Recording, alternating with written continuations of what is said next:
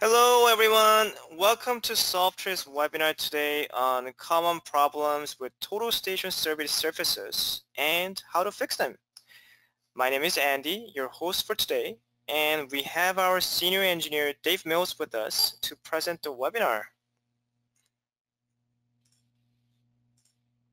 Okay, so just some quick webinar housekeeping items. You are muted um, for the purpose of webinar, but please ask questions and engage with us through the Q&A section of the GoToWebinar panel. And this webinar, as always, is being recorded and will be available on our YouTube page as well. If you've registered for the webinar, you will receive an automated notification including the video recording of this webinar for you to watch and review at a later time. Okay, so before I um, pass on to Dave, just want to show you um, what we have on the agenda today. So today's webinar will be broken into four main um, parts. First, we'll use RoadEng to demonstrate how to group and join point codes to make break lines. Um, Dave's going to continue uh, showing how to find and fix inappropriate long break line segments. Finding and fixing crossing break lines comes next. And last little bit, we'll end the webinar by showing you how to create break lines to fix incorrect surface features seen in the 3D window. And without further ado, I will now pass over the screen to Dave Mills.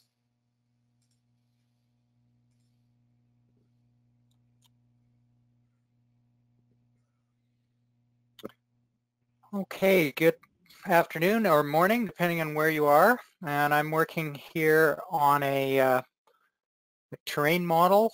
Just want to make sure that everybody can see my screen. Is that true? Uh, Andy, is my screen visible? Yes, it's very visible. Great. Okay. So um, this is a terrain that has been created by opening a total station survey file and there's exactly one connected feature, the center line.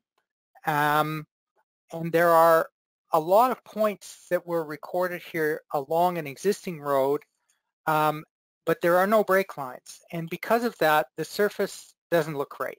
This is the kind of feature you get when you create a surface on an existing road and there are no break lines. So these these kind of diamond shaped uh, features in the surface just don't look right. Um, there's other things similar to that along the road on the other side and uh, so break lines are important. Now it is possible to create connected features like this centerline feature at import time. Um, so if I were to, let's just look at it. I'm going to open an existing ASCII file. There's one. And we get these options here. Now, um, it's possible to connect up point codes. And if you don't have point codes in your uh, import options, you can load them from the file here. Uh, and you can do things like connect point codes to make a polyline. Um, I'm just doing the center line. I could do the edge of pavement. The problem with this import format is that it will only work if the file has been surveyed in the correct order or if it has been sorted. So we're not going to go into this uh, into the details of, of how to set up the import options. That's kind of another topic. What we're going to do instead is look at what you can do after you've read the points in. So if I read these points in now,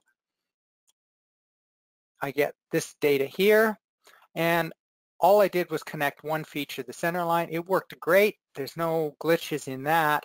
Um, but now I want to create point, uh, I want to connect up some points that have um, point code tags, like this point here, for example. So when I did the import, I was careful to name the feature after its point code. So this point code is called EP. Uh, I'm just going to switch back to the file I had before because it's got nicer point code names.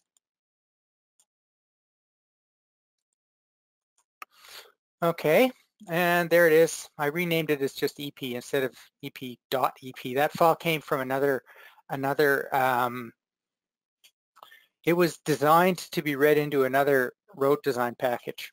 Anyway, here we are, the, the same data points, but they've been set up to have point codes that kind of makes sense for our software. Shoulder, EP, these ones were called CL.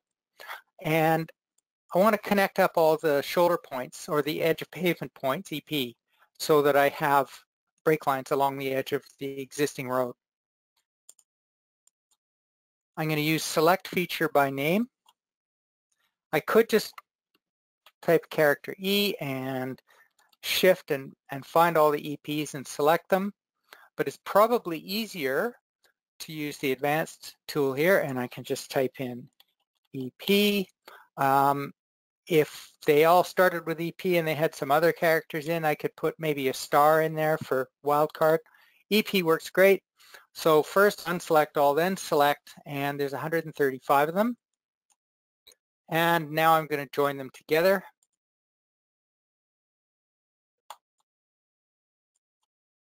And that's what we get. So this is the first and one of the most common problems with surveyed surface data. The surveyor didn't distinguish between left points and right points. I would rather connect up all the left ones and all the right ones without connecting them to each other. Okay, here's the fix. First of all, let's undo that. Oh, and if you didn't have, if it was already like that and you didn't have a, an option to undo, you can also use this explode function. Okay, so there's all the points back the way they were. Now, I'd like to select just those points um, and display nothing else. How do I do that?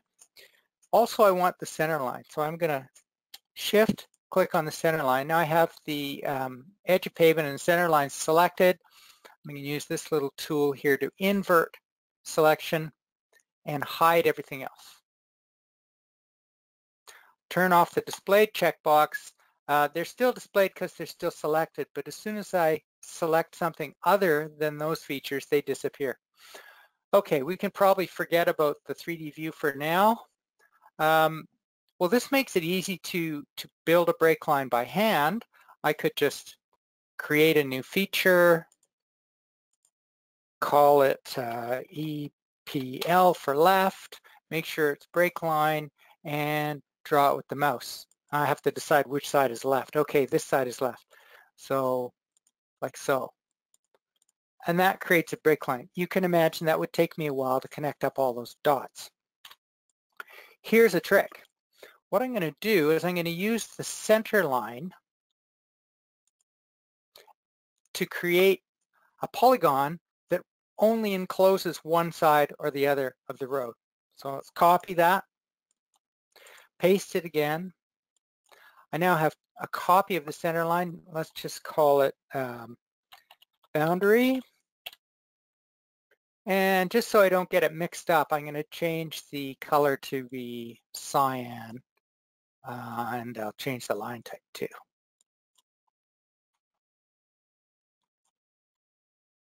Now it's a it's a line, it's not a boundary, but I can add to it.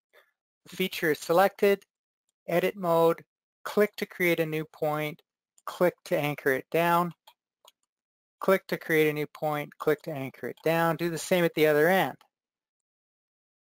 Click to create a new point. There we go.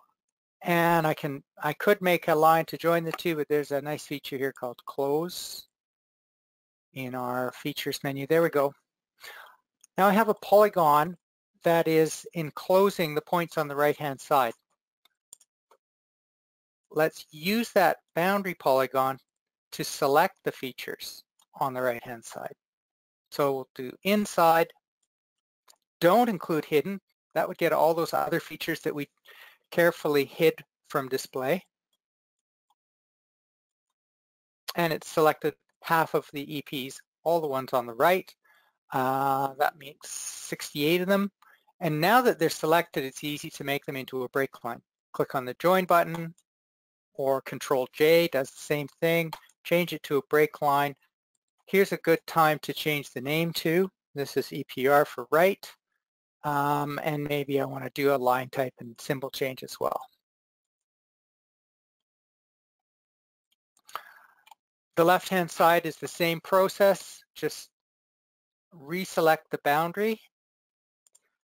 When you do select by boundary, it's always using the currently selected feature. And then this time I want the outside, um, and that gives me the rest of them. Control J join and change their name to EPL.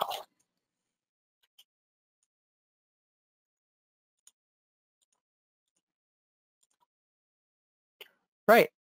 So I don't need my boundary feature anymore. Select it. Well, I probably do need it for other things. Let's just hide it. Well, let's not hide it yet because I want to get all my points back. How do I do that? Select all or Control A and then just turn on the display checkbox. There we go. Yeah, so there's other features along here called um, shoulder and toe and other things like that. And I might want to use that same strategy and the same boundary feature to select them and join them and make break lines. So the, the nice thing about this option or this technique is that it doesn't matter what order the points were surveyed in, um, it'll find the ones on left and right. There are situations where it doesn't work very well, like you have um, a branching road, uh, and then you have to be a little more careful. Okay, so that's a pretty common problem. Let's open another model which has crossing break lines in it.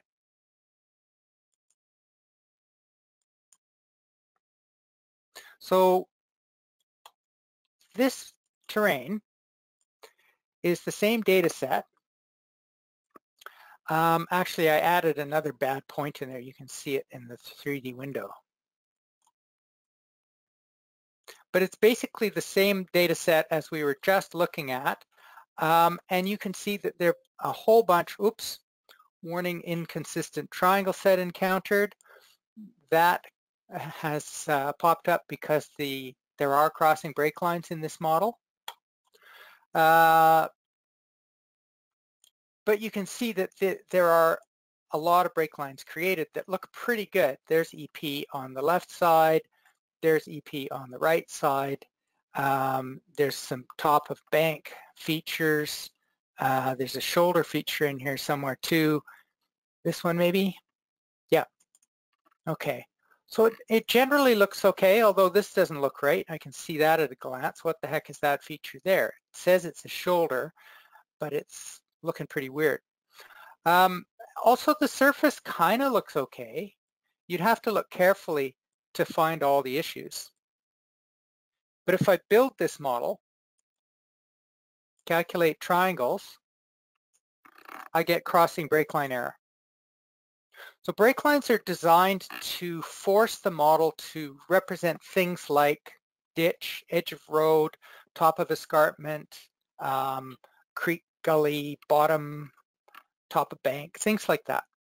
And if you have crossing break lines, the software doesn't know which elevation to use, and it produces a model that is, first of all, not, not what you'd expect given the shape of the real land that you surveyed. Um, but second of all, it can also have um, inconsistent triangles in it.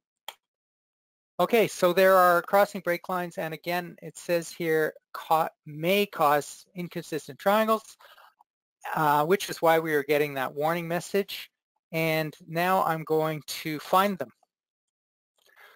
So the way that you find crossing break lines is you open the easiest way. Uh, sometimes you can just see them, like right here I can see one. Uh, the easiest way to find them all is to open a points window. So that's this button down on the lower left here. And it's full of all the points for all the selected features, which is interesting um, but really, all I care about right now are the features that have a special property. So I'm going to select by property and turn on the crossing break line property. Put it in the window by clicking down here and oh, there's one. There's another one. How am I going to find them? There's, there's quite a few of them in here. Sort. So I click on the top of the file in the XBreak um, heading. It sorts the, uh, the file and there's all the crossing break lines at the top. Typically, a crossing break line, uh, well, let's just look at them one by one. So these are the coordinates. Um, I don't want to have to write down these coordinates and figure out where things are. So what I'll do is I'll just click here and it sets the current point, scrolls the plan window, and I can zoom in and see that this point here belongs to a segment that's a crossing break line. In fact, because it's a, it can't really show you the whole segment, the segment is two points, it's the first point in the segment. And if I jump to the next point, that's over here. So somewhere between those two points, I'm going to turn off the, uh, I'm going to, I'm going to remove the triangles and then I won't get this warning anymore. So delete. Um, also, I'm going to remove the contours. Contours just get in the way half the time and they're easy to recreate. So let's delete the, the model and now that warning goes away. Good. Um, the, the 3D window is still showing you something here uh, for convenience, but it there really is no surface. If I hover, there's no elevation. Okay, so somewhere between this point and that point, there's a crossing break line. I think it's fairly obvious it happens right here. This is a typical crossing break line problem.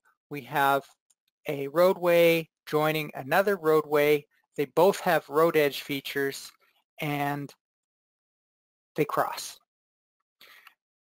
So what's my solution? Well, I'm going to do this. I'm going to select this feature, insert a point, move the pencil until I'm over the feature, click to create a new point. You can see it's moving now with the mouse and hover, move it over the ed, the, uh, the end of the other break line and click to anchor it down. So I added a point here that is coincident with that point. So I haven't really changed the surface. And those break lines still cross, but that's okay because they share a common point. So crossing break lines only occur when they um, when they don't share a common point. For example, um, that is a crossing break line. At this point here, it doesn't know which elevation to use. Should I use the elevation in this feature or that feature? They're not the same. What do I do? Crossing break line. So that's okay because they share the same point, they have the same elevation, there's no, no um, issues. Okay, found um, crossing break line number one. Let's click over here. There's another crossing break line. What happened here? You can see that um, there's a bunch of them associated with the same problem. You can see that this feature, which is supposed to be an edge of pavement feature, um, it has a well-defined point over here and another well-defined point over there, but nothing in between.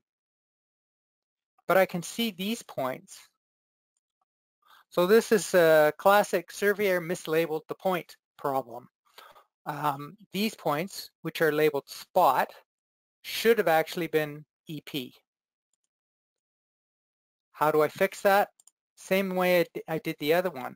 I will select the, the EP feature, go into edit mode, move the cursor over the feature so I get the plus sign on the pencil, click to create a new point, move it over the um, point that it should have been connected to and click to anchor it down. So that's working well because my plan window is set up to snap. Do it again. Click to create a point, move it over there, snap. Click to create a point, move it over that point, snap. And I've now fixed that, that crossing break line issue. The, um, and I've smoothed out the curve. Uh, there are more. There's another one here. And this one is kind of hard to see right away. But if I say jump to the next point, because I know the break, the crossing break line is somewhere between this point and the next point, it jumps way down here. Oh yeah, it's that thing. So it's kind of hard to see what's going on. I'm going to use the same trick I used a second ago. Let's invert selection and hide everything except the, the feature of interest.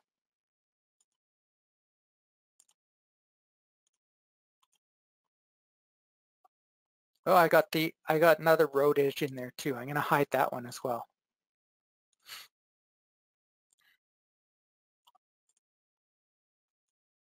Well, I, th I think you can see what happened. The points were connected in order, um, and then it got to the end and oops, found a few more down here. So what I want to do is remove this long segment.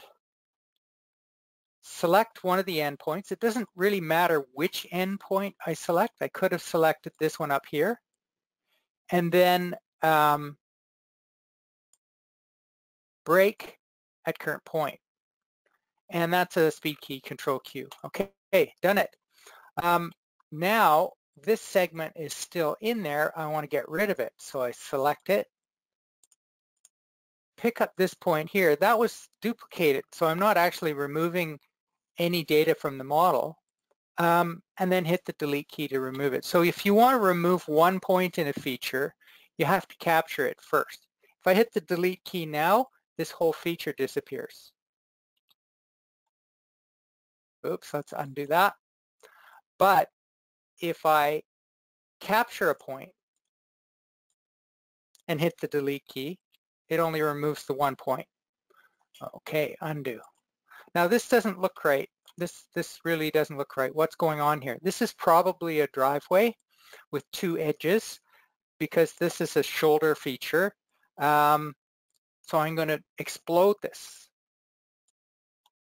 into separate points. Um, let's make them a little easier to see. There we go. Now I can see them better. And then I'm going to connect them together in the order they should be connected. So uh, let's just select this point. This point, I'm holding the shift key, shift click.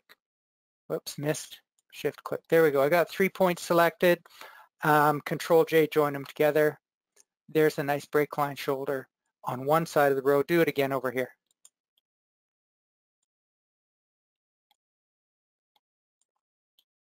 Control J. Now that's the edge of um, the driveway. It probably should be connected up over here where it, where it branches off the main road. And there are points there so I can just snap to those points. I can't see them too easily because there's there's no symbols turned on. Oopsie, I forgot to click um, apply. There we go. Okay, so there's a point there, there's a point there. Um, they're now easier to see. So if I select this feature, go to edit mode and extend it, I can snap onto that point do the same for this one. And now that looks that looks like a driveway. Control A, select all, display them, and whoops, I create a point by mistake, escape gets rid of it. And there is my um, fixed surface. Let's see what it looks like now. I'm going to regenerate everything. Notice the calculate triangles is turned on. And it looks way better um, in the areas where, first of all, there's no crossing break line. There's no longer a um, warning inconsistent triangles encountered. Um, and the surface generally looks better. Except for that bad point there in the middle that's creating this giant hole. So obviously there's a bad point in there. I want to just select it and modify it. Holy smoke, all these contours are causing problems. So again, when you're trying to fix up your surface, sometimes the contours just get in the way. So delete them. They're easy to recreate. Now I can look on my surface and say, yeah, here's the hole right here. By the way, notice that the, the cursor is moving in both windows. That's because my 3D options are set up to have track mouse turned on. Anyway, Um, so it's not too hard to find where the point is. If I zoom in on the on the 3D window, I can say, oh yeah, yeah, it's this it's this point right here, that one. And if I select it, it shows the elevation as being oh 377. That's okay. I selected the wrong point. Um, it's in the middle here. There, ah, oh, missed it. Okay that point. Elevation zero. So I don't want that to be part of my model. I could delete the point or just turn off um, modeled and it's no longer part of the surface.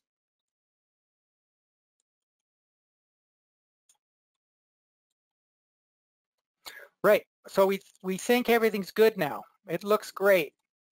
Um, I happen to know there's a couple more problems in here.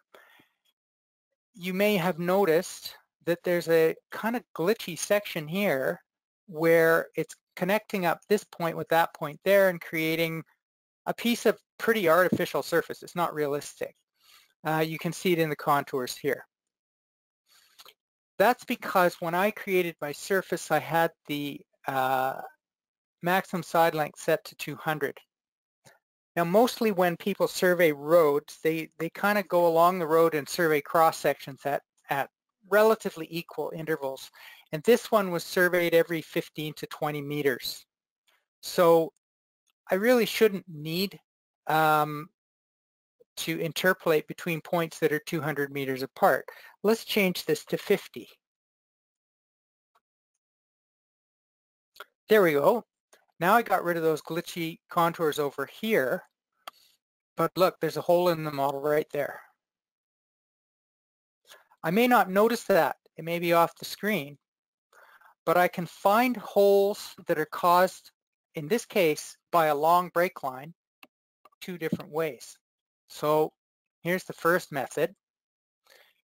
In the terrain modeling ribbon, there's a thing called tin operations. This is new. It used to be in the generate tin um, and you can create a boundary. So I'm going to create a boundary around my surface like so. And there it is. But notice that I just created three features. It says here on the bottom of the screen. Um, and similarly, you could see them in select features by name. Skip down to the T's, there they are. There's three boundary features. Um, the tab key moves you around the selected features. So there's the, the main boundary, tab, there's another boundary right there. That's the hole I showed you the first time. Oh, and there's another one down here, a very skinny hole that may be hard to see. It's, it's over here somewhere. Um, and so I've got, I've got issues that are causing holes in the model. What exactly are those issues? I'm going to delete those boundaries. We don't really need them. Um, here, like I say, it's hard to see. Um, up at up at the other end over here, where that hole is, there we go. Let's select that um, line feature. What we've got is a break line segment that starts here and ends over there it's quite long. I could use the measure tool. And it says that it's 57 meters. Okay, well that explains why there are no um, triangles there. I explicitly told the software to make short features or short triangles, 50 meters and no longer. So a break line longer than 50 meters leaves a hole in the model, which um, leads to the other method of finding um, incorrect break lines. If the break line feature is too long, it probably isn't realistic. And you can find the long ones by looking for features with long segments. You can display segment lengths in here, in the this part of the properties panel. It's part of uh, forward leg, horizontal distance next. And there's a horizontal distance 20 meters. If I go back, this one is now showing 57 meters. Okay, so that's a long one. You can also do that in the points window. So here my my um, here's my crossing break lines um, column. Let's add, just like I did for the features window, let's add forward leg horizontal distance to my list. There we go. And there's the there's the big one, 57. Right, well this is only showing one feature. Let's look at all the break line features. So select by property. This time I don't want just the crossing break lines. I want any break line at all. And add it to the list. Now it's hard to see the long ones unless you sort. So I'm going to sort by length and scroll up to the top and there's two big ones. So that's the first one here and that's the second one down here. And you can see what the problem here is. This is the same problem we had before. Um, this feature doesn't have any points in there, but it should have. It should have snapped onto that one and that one and that one. Oops, and there's another one down here. Now that was pretty hard to see in the model. I want to show you an example of a long break line that um, is a little easier to detect. So I'm just going to switch over to this model here. So this looks okay. It doesn't seem to have any problems um, at first glance. If I zoom in closely here, you can see a strange black line there. And uh, you know, what what is that? What's going on there? Uh, it, it doesn't really look like a surface. It's kind of hard to see, but you would sure see it if you created a road, and I, I did. So I'm just going to flip over to the um, location module and open that road.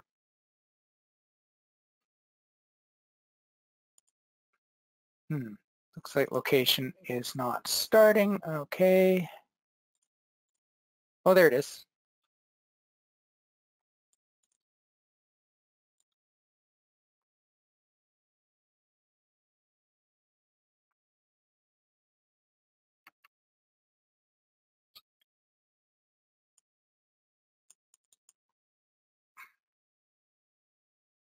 What did I just do? I thought I opened an alignment. Open. Oh, I see what I did. I got two of these things open at once. There it is. Um, and look at this cross section. Look at this spike in here. So that there is the top of a break line that was too long. Uh, let's just get rid of the uh, the actual cross section. So we're just looking at the ground.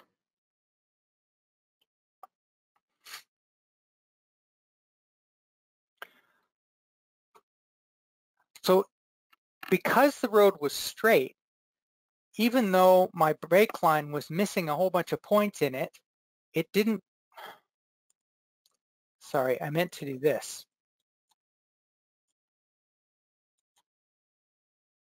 That's better. Um, that little glitch there is a symptom of a break line that doesn't have, that's missing some points. So let's go back to the terrain again.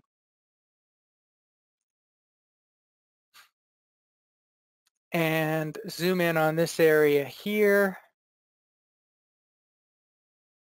And you can see the problem this break line feature called EPR is skipping these surveyed cross-section points.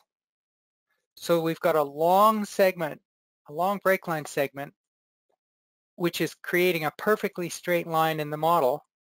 And then we've got all these other points nearby. So you end up with a um, an artifact that looks like a, um, a sharp uh, knife edge in the surface.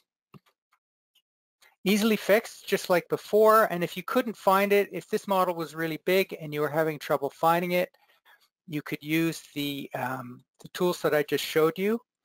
And I don't have them turned on in here. Do I want to go through the trouble of, of setting this up again and, and adding um, and so on? No need. That sort of thing can be saved in screen layouts. So here's the screen layout from the other model. Um, well, let me just let me just go over there and save it. So this is all set up the way I want it. Uh, view, save screen layout. Now I can use that in future terrains or existing terrains. So I can switch over here and say open. And you can see it's put the um, horizontal distance in here and it's also put it in here and I can sort, uh, whoops, sort the other way. And there's the big one, 157. We're starting, starting right there. So now that I've found it easily fixed, I just, again, click on the feature to add a new point, snap it to the place where it was supposed to be connected, and we've created a more reasonable uh, break line. There were quite a few points missing. I just clicked near the line but not close enough. So I've created a, a point that is branching from the end of the feature instead of inserted here. Just hit the escape key to get out of there. Okay, so I wait for the little cross, then click. Yeah. So yeah, so if I click out here, it creates one connecting to the end. If I click here, it inserts a point.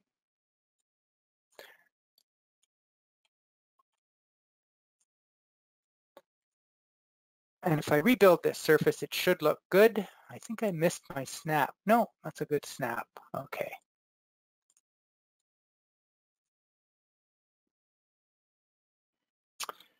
And my 3D view, there we go. Looks pretty good. Lots of contours. Um, let's go back to this model here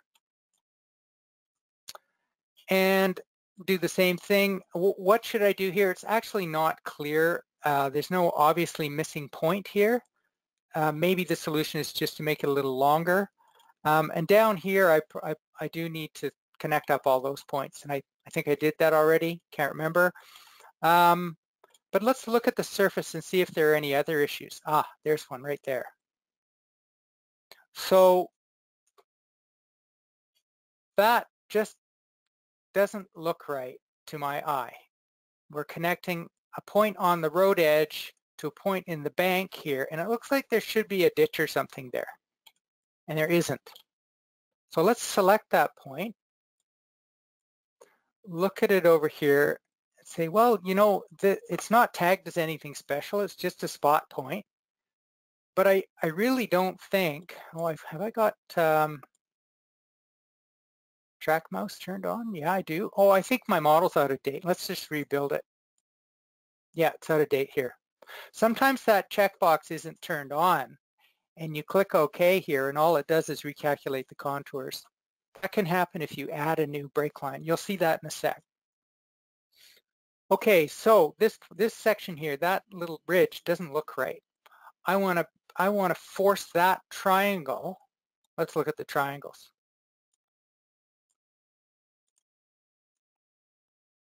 I want to force that triangle there to go this way. I want to flip it. I want the triangle to go along here. I do that by adding a break line. So, home, new feature. Let's call it BL for break line. Make sure the break line checkbox is turned on. Draw it with the mouse. The elevation is going to be very important, but I don't have to type in the correct elevation because I can snap onto that point and snap onto that point. So I've created a, a two-point break line and all I have to do is rebuild the surface. Here's where I have to remember to turn on the calculate triangles because uh, adding a break line doesn't actually force anything out of date. but I do want to include it next calculation. Okay, recalculate, and there we go. You can see that that now looks more like a ditch, um, and the triangle is going along the break line instead of crossing it. Well, that covers all the um, topics I wanted to discuss. There are some questions. Yes, Dave, we have um, three questions received so far. Um, is this a good time for questions? It is. Let me answer the first one. Um, keyboard shortcuts, they seem to make me go faster. That's true. Is there a list available? Well, not exactly, but every menu item, at least all the good ones, have tooltips. So at current break at current point shows me this tool, hover tooltip, control Q. Similarly, um, the other one I use a lot is join, and again, join is control J. So yeah, look in the look in the ribbon, hover on the feature, and if there's a if there's a speed key, it'll show it to you. What happens if we ignore crossing break lines? Well, two things. First of all, your surface may not look quite right. And if there's no, um, just going to turn off these triangles. If we ignore crossing break lines, uh, you may get a situation where, like here, for example, it has to choose one break line over the other and you will get um, basically the, one of the break lines gets turned off. So it will it will not honor both break lines. It will only honor one of them. So you get a surface that's not quite right. Um, in the worst case, you get, as we saw earlier, um, inconsistent triangles. And what does that exactly mean?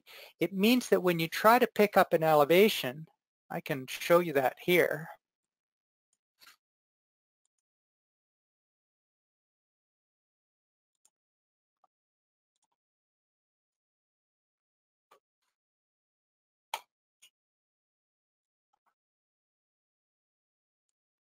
This is before I fixed it. And if I hover near here, it's trying to pick up an elevation eh, and it's it's not capable of doing that. It, it's actually failing and giving me this warning. So that's the other thing that can happen if you ignore crossing break lines. This isn't so bad in the terrain module, but if you were to create a road design and you were draping a cross section in that zone, the cross section would probably just stop. There would be no ground um, in the cross section. So you, would look at your cross section uh, and instead of looking like this, it would maybe just stop right here and there'd be nothing on the right hand side. Final question.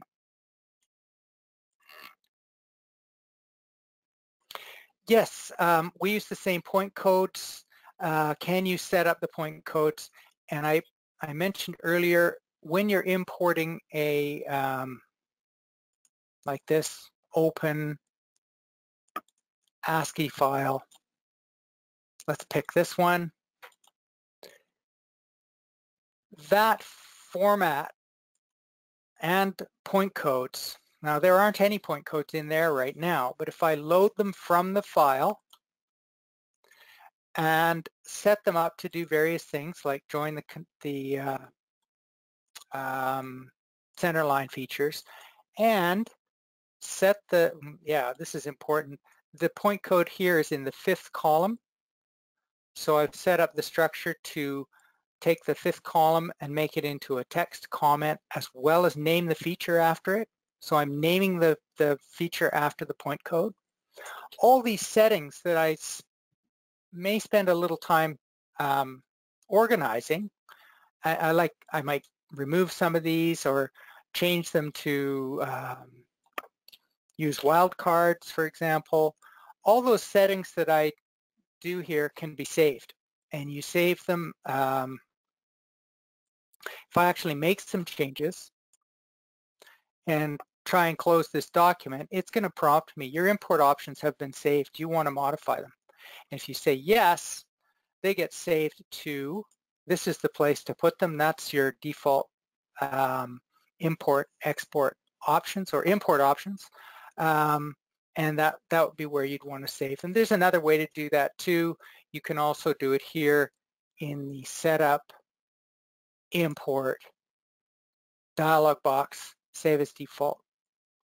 There's the one that I just modified and the whole list gets saved when you do a save as default or you can even save it as the different file name if you want. You don't have to use normal, you can give it some other name. Uh, and those little files can be emailed around. You can send them to other users um, and they, they are generally stored in that, in that same place. Um, this place here, Program Data Softree Road inch with the version number. Okay, sorry I took so long. That was the uh, the sum total of what I wanted to say about fixing surveyed terrains.